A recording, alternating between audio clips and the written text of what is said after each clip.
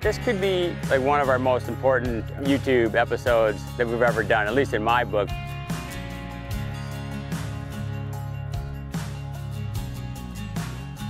We get turnips here that might be, you know, you know, size of a baseball stop, but they're like actually like pumpkins out there. It's like, what in the world?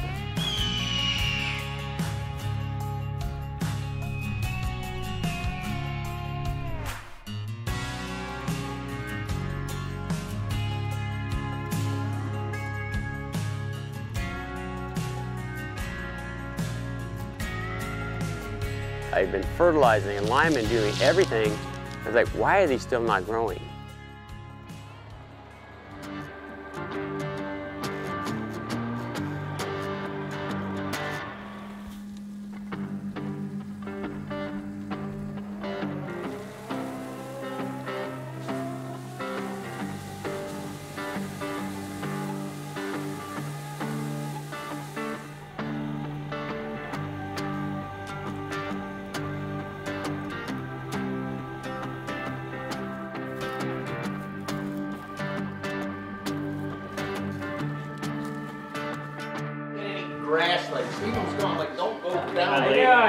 Doing? Brad. Must be Brad, Yes, sir. Nice to meet you. Nice to meet you. Yeah. Chris. Chris? Yep, nice to meet you. Chris?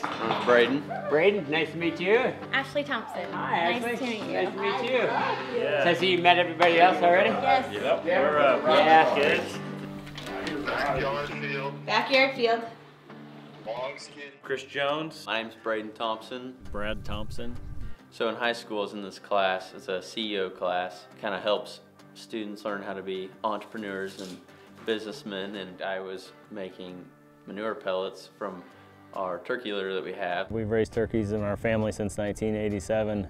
My wife and I since 2004, and we've sold, hauled and sold manure in the past. My son had came to me and said, Do "You think we could pelletize this stuff?" And they, they got together, found this pellet mill, presented it to us, and we thought, well, that kind of seems like a lot for a high school CEO project. So we ordered a small pellet mill and did some trial runs.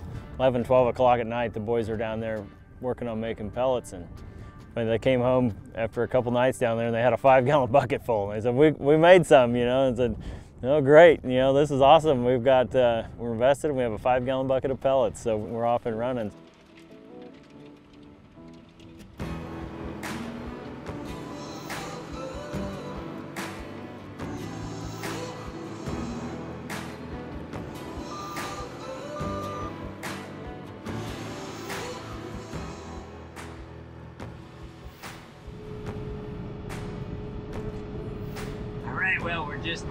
First pass out here at our house, trying to get as much from the yard as I can for Tiffany. But with our uh, our turkey manure pellets, you know, it's one of the things we, we try to just, you know, every year, how can we get better? How can we do things better? How can we have better uh, nutrition and habitat, and everything else you can think of for deer? And this is just another another part of that puzzle that we're trying to put together we talked a little bit about uh, you know the herbicides and pesticides that you want to you know keep out of your body but you know you're feeding your deer you're spraying all your fields with this stuff and deer are eating it you're getting that as you're eating your deer too. So it's not like totally organic like you know like we like to think it is sometimes. So we're working on like with analogics uh, you know some organic herbicides and pesticides and things like that. But especially for any organic farmers, this is what they're using. They're using the the turkey manure pellets like this. This is Brad's uh, main main audience is organic farmers, and you know ultimately that's what we'd all like to be. And so we're just moving another another step in that direction by you know using compost stuff you need to get rid of anyway, using turkey manure stuff you have to get rid of anyway. And like like Brad mentioned, this is all uh, you know tested by the DNR and the FDA whatever. Make sure there's no E. coli, there's no diseases, there's no you know anything like that. Because the way they flash dry it, it gets hot enough, long enough to kill any of the bacterias and and all that kind of stuff in there. So uh, you don't have to worry about that. This is another way to do it organically and we just do it in a way that's the best thing for our deer and for ourselves and for our soils. So like now I'm out right now. I we loaded that thing way over the top, so I'm pretty close to about where I where we want to be on it. And I'll go back and just pick up where I left off on it.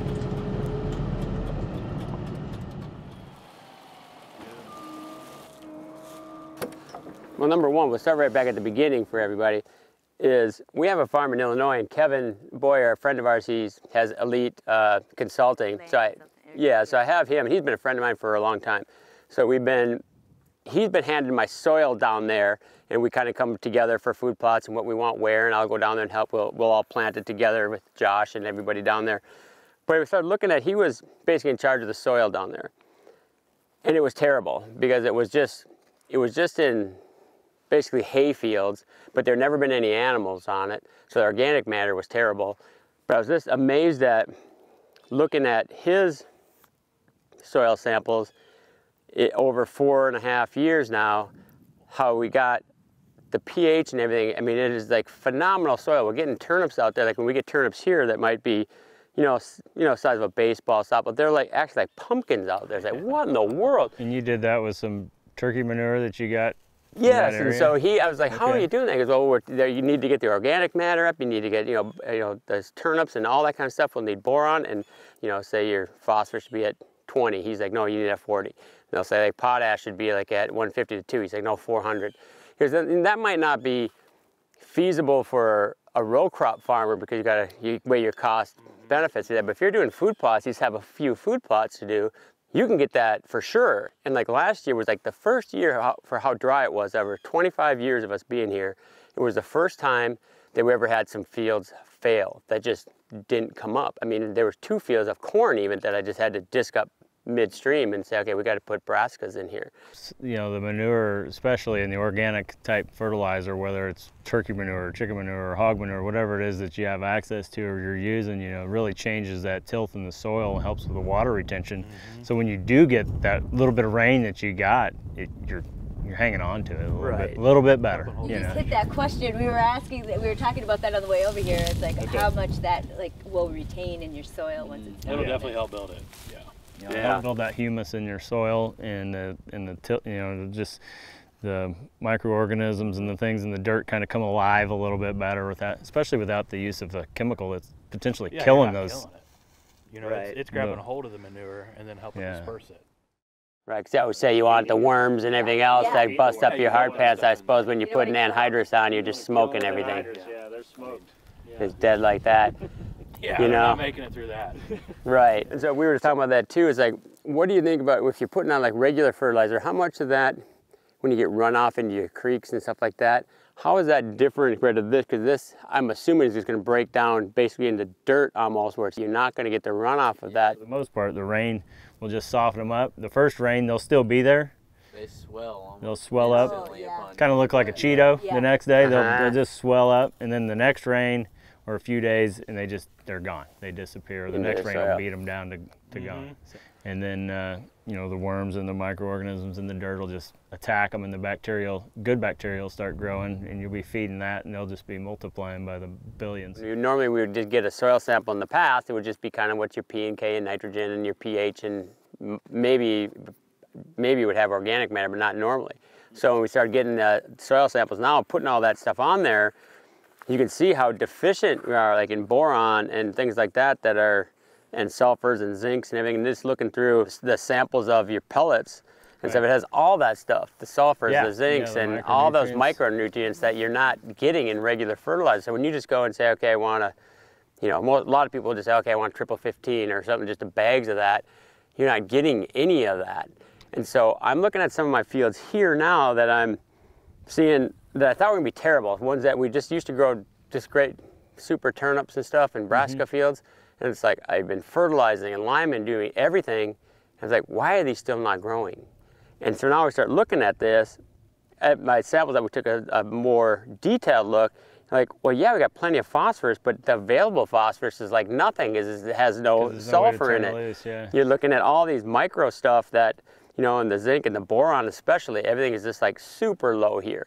And it said that talking with Kevin, he's like, that's what you we need boron to to grow, especially those brassica type things. And you have all those micronutrients are in this, which you don't get in a regular fertilizer, what's usable for the plant. And just looking through your, your list of what's usable in the first year, the numbers are super high, in, and especially in the phosphorus level. Now, like the fields that we've had for 20 years, like my pH is always pretty good, like 6.5 to 7, you know, right in that range, and everything is close, but more on the lines of that, you know, 25 for for phosphorus and the potassium like maybe in the 130s instead of 400s. Organic matter maybe at 2.5 instead of 3.5 and 4. And like I said, now the sulfur levels, we talked about that a little bit mm-hmm. too. It's like that never was a problem before because you need that sulfur to free the the um, the phosphorus in, in the soil. And before, when diesel, before taking the sulfurs out of you know diesel engines and diesel fuel and all that stuff, every time it rained, you put tons on there. So nobody ever thought about it. But now it's getting so sulfur deficient. You start looking at these, I'm like, looking at this, I'm like, wow. I mean, I've got 30 available, but it's only it's only using 10. It's like, okay, we got to boost the sulfur levels. But now just looking through your the lab tests of your pellets and stuff, what you know we've got in there for sulfurs and all that kind of stuff. that's what the difference has been on our Illinois farm. Getting all that stuff to grow like that. So we're just like, okay, we got to start thinking about that. But down there it was easy because there's a bunch of turkey farms down there. He would just get the manure from, they'd come out and spread it. So well, what do we do here? So just what two weeks ago we were down Yeah, there. it was He literally brought us that bucket from Organic Works, and I was like, man, we could spread this. those so are great. gave gave Brad a call and was like, that works out perfect. We'll just truck some up and and give it a try here. And, uh, And and- but the whole reason, I mean, it's funny that we came up with this, you know, that we met Brad here because we were just we just got like a blood test for you know, just to genetically all this different stuff just to see, make sure you're healthy and everything. And it always comes back, came back, you know, high in DDT, which is pretty normal probably for most people just for what you're eating now with all the herbicides and pesticides and stuff on it. So we're just like, man, we better, you know, 'cause you always, ah, it's, it's Roundup, you know, it's everywhere, whatever. I And have not said that. I actually had a total different stance, and I have been on that for the last few years, and they all kind of blew me off. Honestly, they were kind of That's like, what I "Eh." meant. I blew you out. like, ah, it's like- Roundup. Yeah, I was like, I'm telling you, I'm like, this is bad. This is like everybody blows it off, like it's no big deal. But I know we can do better. I mean, that's my thing. I'm like, I just feel like there's better stuff out there that we can be doing for Yeah, and so our we kids always, and dogs and mm-hmm. deer and everything. You know. you know, you eat all everything that you shoot. We're eating it ourselves as well. But you know, if you're just dumping glyphosate and everything else on the on your fields that they're eating on, that's just coming right through them as well. So, really, for me, number number one, a close number two. I put a close was number that two. is terrible. Uh, I want to grow the biggest deer and the healthiest deer and the food plots and stuff because yeah, there's nothing worse than coming out like last year. We did so much work and putting a lot of spent all the this. money on fertilizer and all the stuff on these fields and, and you get nothing. I mean, last year the biggest deer I was hunting, and Justin and James will tell you that it was like on a dirt field and nothing grew up there. I mean, we planted, started it with clover and it burnt up to nothing. We tried it in wheat, and that was it was so dry, mm-hmm. nothing. But it's the same kind of weather down in Illinois. We got alfalfa, just green and lush. You see the total difference between when we hunted down there and here, and that's all in the soil. So I was like, after looking at the samples Like and everything this year, I know Kevin was smoking us. Just wait, wait, wait. It goes six months. We both go in there again. He said That's man. I don't know. It was an upper.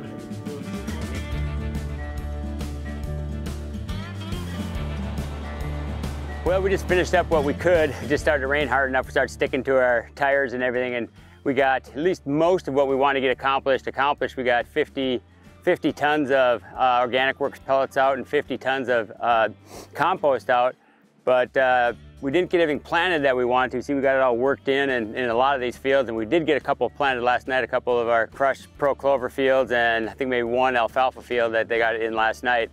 But this could be like one of our most important YouTube episodes that we've ever done, at least in my book, because you know food plots is such an important part of what we do. And like since we bought a lot of these farms over the years, it seems like the quality of our food plots has been getting less and less and less. When we first started planting brassicas, we had you know, you know, small pumpkin or volleyball-sized turnips, and now, like last year, it was down to maybe the size of golf balls on a lot of them. And of course, over the years, you know, you're getting soil tests, you're liming, you're putting your fertilizer, and you're just you're you're getting your soil samples, but mostly it's just the nitrogen and pH on those. but you know, so everything seemed like it was good. And I was just kind of attributing a lot of this to just how dry it's been. Seems like since, you know, in the last 20 years, seems like it's getting drier and drier and drier. So you're just like, well, we can't get stuff to grow because it's so dry. So we just did a deep dive in on it this year and started getting all the, the micronutrients and things in, in your soil samples. You start seeing, you know, your sulfurs are super low, your boron is super low, you know, all kinds of the micro stuff and the, the you know, the organic matter is so low. So to me, this is what I'm assuming is the solution to the problem that we didn't know that we had. So once again, thanks you guys for watching. We're gonna we'll keep updating you on these. Some of these fields that we planted, you know, last night. Those should be coming up here, weather permitting, here in a couple in a couple weeks. And some of these fields behind us, we'll get all this stuff planted. We'll we'll start showing you our results, and then you know, getting more soil samples next year and see what that's done. So it's an ongoing process. But you know, doing it the conventional way, what I had been doing, you'd be like, okay, we can get the, these fields back into you know, working shape within three or four years. Well, I don't have three or four years. I need to have great food plots this year. So this I, what I believe is the solution. You can see with this little bit of rain how these turkey pellets are already just turned into mush and like, you know, melting into the soil basically. So this is available pH and organic matter and the sulfurs and the zincs and the borons and all that stuff available right now for my seeds that I put in the ground right now. So Again, thanks for watching. We'll keep you updated on this. And if you want any information on Organic Works, uh, you can check out their website. We'll print it at the bottom. And Brad Thompson and his whole family that was out here helping us, we appreciate it. Thank you so much. And I'm sure we're going to have great results.